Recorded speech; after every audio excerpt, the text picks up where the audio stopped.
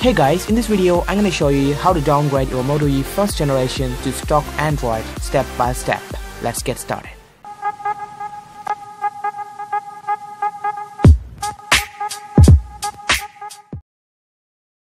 Alright guys and uh, to download to downgrade to the stock Android so first of all go ahead and open the Google Chrome so when you first open the Google Chrome so go to the li this link firmware.center so link in the description. And uh, once you go to this link you will probably see all the files. Then click on the Moto E first generation stock. So as you can see there are a lot of model numbers is available depending on the carriers and retail versions based on different countries. Select your one of your models so my variant is dual sim variants which is a model number comes as xt1022 so when I open that folder so now you can see the files that are uh, supported my model number. So uh, you can see there's a lot of options is available. So right now I want to downgrade my device to Android 4.4 KitKat so which is a very good use. So you can also even downgrade your mobile to Android 5.1 so for my convenience I'm using I like KitKat mode than Lollipop so anyway so as you can see the file has been downloaded successfully as you can see the zip file. And uh, now you can also download the script file from the link in the descriptions which is a very useful tool and helps to flash the uh, stock ROM on your device. So as you can see when I right click on edit on those batch script files you can see a bunch of commands that I nested together which is used to flash uh, during the process. So anyway you can close that one. So now make sure the two files that you placed on should be in the same folder. So then go ahead and right click on your retail version or whatever the version that you download to downgrade your Motorola device and extract all the files onto the same folder now as you can see successfully extracted so once all the files is extracted now you can see there is a lot of files that has been uh, present onto your folder. So we don't only we, no longer need the uh, zip file so can delete it zip file. So these are the files that we extracted. And uh, anyway so this is a step we done. So the second step is what we're gonna do is we need to uh, download the uh, two software files which is a Motorola device manager and obviously it is a driver which helps you to communicate your mobile device and computer together. So install it and I already installed it. I'm not going to be installed right now. So then after that we need ADB and fast boot so which is the main tool helps to flash the stock ROM to your Motorola device.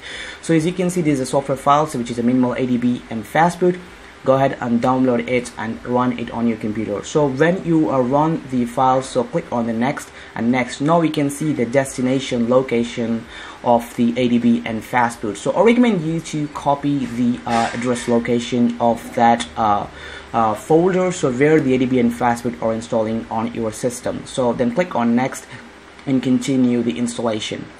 So once it's installed so do not launch the one fastboot now and then what we're going to do is right click on your computer or the PC whatever you want and then click on the properties. When you click on the properties you're going to see this window. So then here you click on the advanced system settings once you click on the advanced system settings that might gonna be a prompt into another window. So then you can you can see at the end of the page you can see the environment variables. Click on the environment variables. When you click on environment variables another dialog box comes up and same time system variables. Under the system variables select uh, type keyword a path and uh, edit it okay?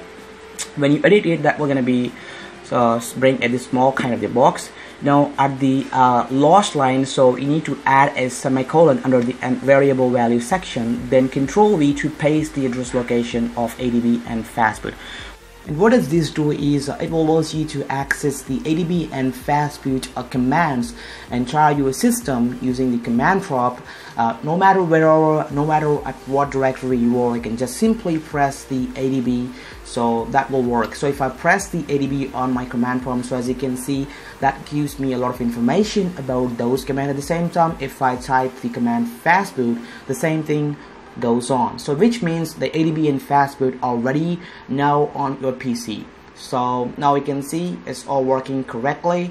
So then go ahead and connect your mobile phone to the computer. So as you can see my Motorola Moto E is running on Android 6.0 Marshmallows based on CyanogenMod 13 so stay tuned to my channel so I'm to be posting the video how to install it officially and many users are getting a problem installing it. So anyway after that so go ahead and turn off your device and uh, when you turn your device and we need to put your device into the uh, fast boot mode.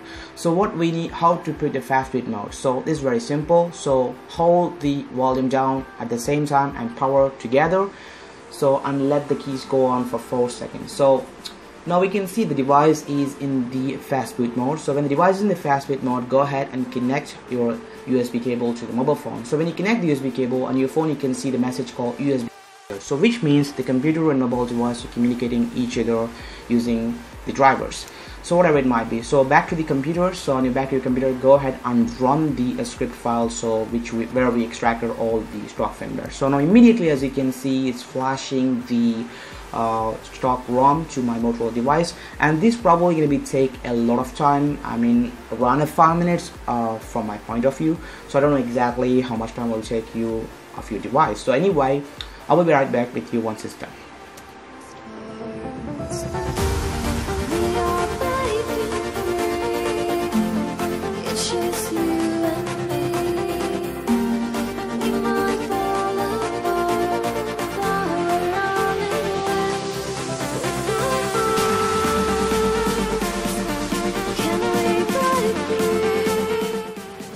Guys and uh, now you can see my device is booting up.